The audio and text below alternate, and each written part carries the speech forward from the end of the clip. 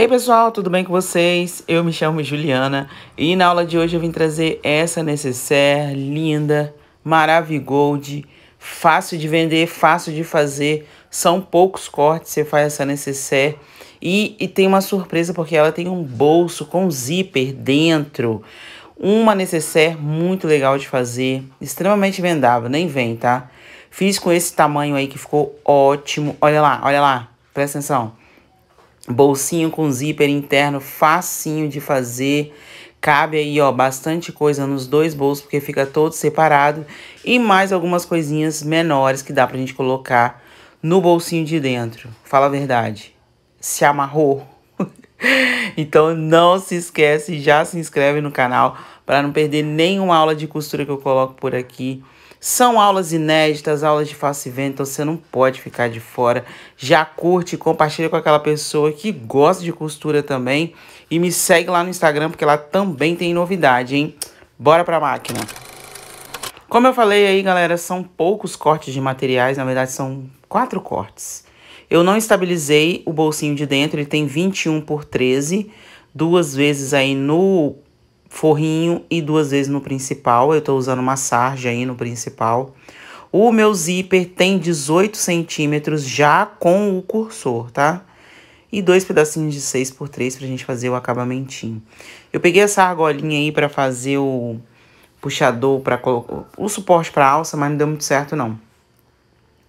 Enfim, depois eu peguei outro. Esse aí é um tecidinho de 8 por 10 pra gente fazer o suporte. Se você não tiver a ferragem, você pode fazer só com tecidinho puro. Eu ainda vou colocar uma ferragenzinha, depois é só passar uma costurinha ali. E essa daí é a parte do corpo com o meu zíper de 30 centímetros. Não precisa colocar o cursor agora. E o corpo tem 32 por 21. E como é sarja, né, eu falei, são, é sarja, eu coloquei em manta R1 e fiz algumas costuras aí bem, bem marota nas duas partes. É só esse o material. Vou pegar agora o suportezinho da minha do quadrinho pequenininho que eu peguei, que eu achei aí nos, perdidos e achados que a gente sempre tem. E vou colocar aí para fazer o suporte para minha alça. E aí esse negocinho redondinho não deu certo não, tá vendo? Ele abriu. Eu pensei que ele fosse ficar firme, mas ele não ficou não. Enfim, aí eu troquei. Não vai ser esse redondinho aí, mas se você não tiver também, não tem problema, é só deixar sem. Para fazer o, o acabamento do zíper, eu vou colocar assim, ó, já, ó, o direito do tecidinho virado para cima. E aí também a outra partezinha também virada para cima, eu vou passar uma costurinha de um pé de máquina aí, ó. E depois eu vou desvirar fazendo uma, uma dobrinha e dobra para dentro de novo para fazer o acabamento desse zíper aí. Ó, dobra pra frente, faz uma dobra e dobra por cima do zíper. Vou fazer ali a costurinha dos dois lados.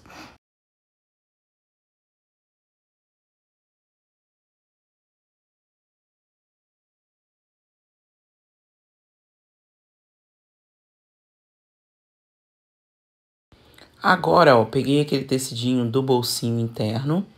Vou ali marcar o meio do meu zíper marcar o meio ali, pra ficar com acabamento nas laterais, ficar bem certinho, não ficar nem sobrando muito de um lado nem de outro, a gente marca os meios tanto no zíper quanto no, nos tecidinhos também. Vou fazer aquele famoso pique-pique-piquezinho nos dois. Galera, não se esquece, já se inscreve no canal para não perder aula de costura criativa por aqui, hein? Agora, bora costurar, né? Vou colocar ali, ó, direito com direito do meu zíper e vou acompanhar ali com o forrinho também. Já vou levar na máquina e eu a, arredo o cursor para trás e para frente ali para ficar mais fácil na hora de costurar. Porque eu não vou colocar pé de zíper. Agora, ó, já fiz a minha segunda parte também. Tô só ajeitando com a mão mesmo, não precisa ir no ferro, né? É só ir ajeitando ali que eu vou pespontar agora essa outra parte aí.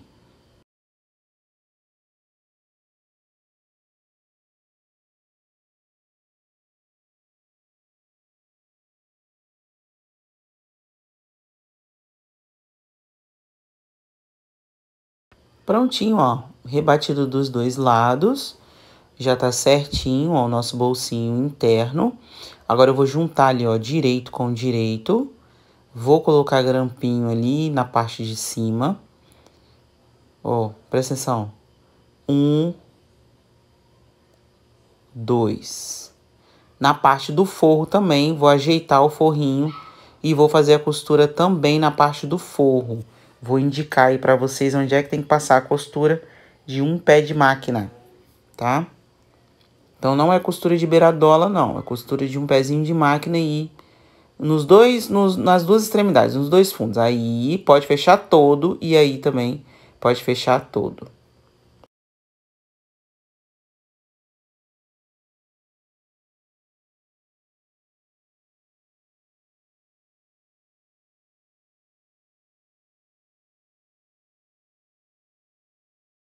Costurado o fundo, agora é só desvirar assim, ó, do jeito que eu vou fazer aí, ó. Nem vou adiantar essa parte para vocês verem que tem que virar com cuidado.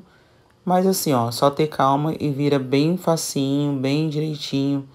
Abre o seu cursor do zíper para você ajeitar esse forro, hein? Ajeitado bem certinho assim as laterais, a gente vai reservar essa parte. Vamos pegar agora a parte do corpo da necessaire. E assim, dá, eu tô vendo aí que tem mais ou menos um sentido essas flores. Vou fazer uma marcação aí de 5 centímetros das extremidades para dentro, para a gente fazer a marcação de onde vai começar e onde vai terminar o zíper. Então, é 5 centímetros. São 5 centímetros.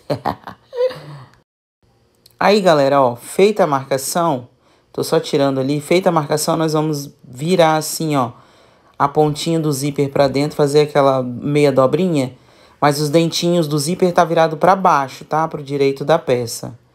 Assim. E aonde eu tô riscando ali por cima é onde vai acabar o meu zíper, tá vendo? No, no comecinho aí, ó, eu dobrei ele um pouquinho para cima para fazer o acabamento. Agora eu sobreponho o forro e faço aquela costura todinha em cima da onde foi feita a primeira costura e vou até o final Lembrando de puxar ali, ó, onde está sobrando o zíper, eu vou puxar ele para baixo, para não passar a costura, né, por cima dele e não desfazer todas as nossas lindezas. Vou puxar ali para trás ali, ó, e já vou fazer o rebatido dessa costura aí também desse zíper, para não ficar enganchando depois.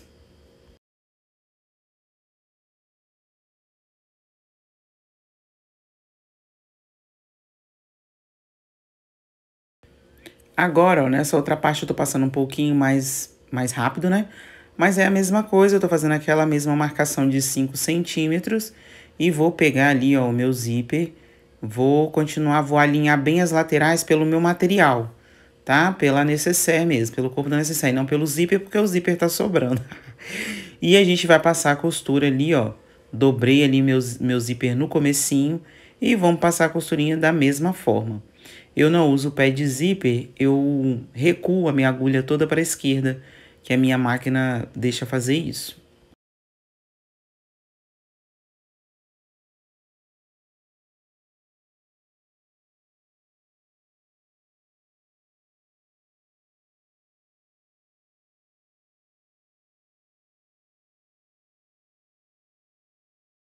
As duas partes aí, ó, já estão prontinhas. Meu zíper tá soltinho aí.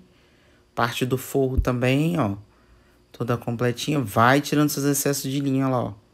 Tia Ju não tirou. Mas aí, ó, já tá completa aí. Essa parte. Agora, o que, que a gente vai fazer? Vamos marcar as caixinhas de leite. Tanto no forro quanto no principal. E a caixinha de leite é de 4 por 4 Ó, 4 por 4 Cortei aí no quadradinho e vou marcar com a caneta para cortar aí todas as partes.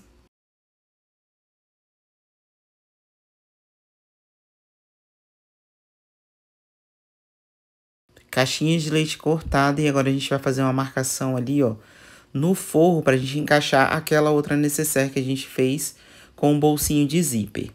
Então, vamos fazer o seguinte, a gente vai fazer uma marcação aí, ó, de 2 centímetros aí dessa, da caixinha de leite para cima, para a gente dar aquela diferença.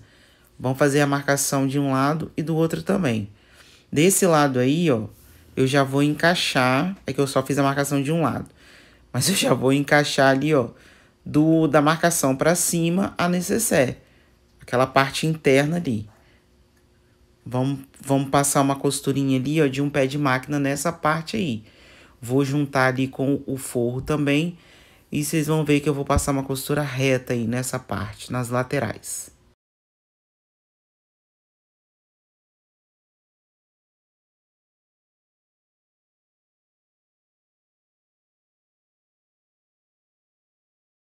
Passei a costura esse lado aí, ó. Já tá bem passadinho, já prendi. Agora presta atenção. Agora a gente vai ter que puxar ele assim, ó. Ajeita o seu zíper, né? E vamos puxar aquela necessaire. Falando pra vocês, esqueci de fazer a marcação. Fazer a marcação aí de 2 centímetros. Da caixinha de leite pra cima, 2 centímetros aí. E vai ajeitar, puxando aqui, ó, essa necessaire menor lá na lateral e fazer a mesma coisa com o outro forrinho também. Pra gente passar a costura só nessas duas laterais aí.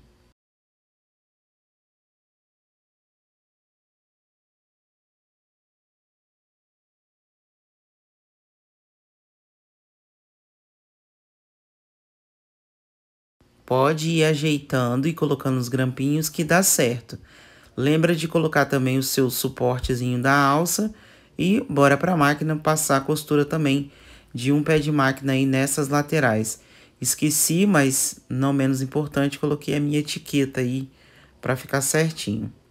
Aí, ó, passei. E agora a gente vai fechar o fundo da necessaire, tanto de um lado, e lembra de deixar uma abertura no forro, que é pra, por onde a gente vai desvirar. Antes de fechar também as caixinhas de leite, né? Claro.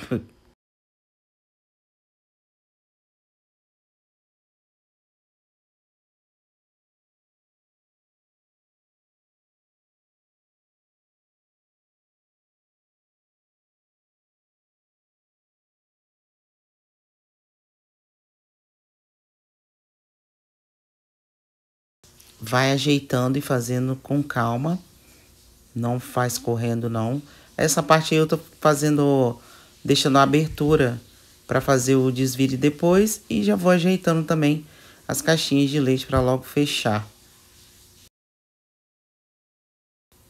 Prontinho, já vou desvirar pela abertura que eu deixei. É só abrir ali o zíper certinho. Já estava mais ou menos aberto. Vai ajeitando os cantinhos da caixinha de leite, ó vendo as costuras para ver se se casaram. Depois eu vou fechar o forrinho na máquina mesmo. Já tô ajeitando aí para fechar na máquina mesmo. Ó, feito agora o, o fechamento lá na máquina do forro, eu tô ajeitando o meu zíper aí para me colocar o meu cursor e ele ficar já de uma vez já no lugar certo. Por isso que eu coloco os grampinhos assim.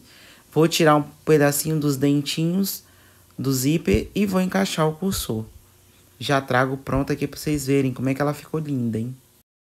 O acabamentinho do zíper eu vou fazer com o mesmo tecidinho que eu usei, esse floridinho. Vou fazer só a mesma dobrinha que eu fiz no zíper de dentro, tá? Vou só fazer o acabamento ali certinho e vou colocar o meu zíper para dentro. Galera, essa foi a aula de hoje. Essa necessaire é facinho de fazer, mas fica tão bonita, tão funcional com aquele bolsinho de zíper por dentro eu acho que vale a pena, hein? Mais uma aulinha inédita aqui no canal. Se você gostou, não se esquece. Já se inscreve para não perder nenhuma aula. Me segue lá no Instagram também, porque lá também tem sempre novidade. E quando fizer, me, posta, me, me marca lá no Instagram para eu repostar para ver como é que vocês estão, gente. Se vocês fazem mesmo as nossas aulas. Essa foi a aula de hoje, pessoal. Um beijo e até a próxima, hein?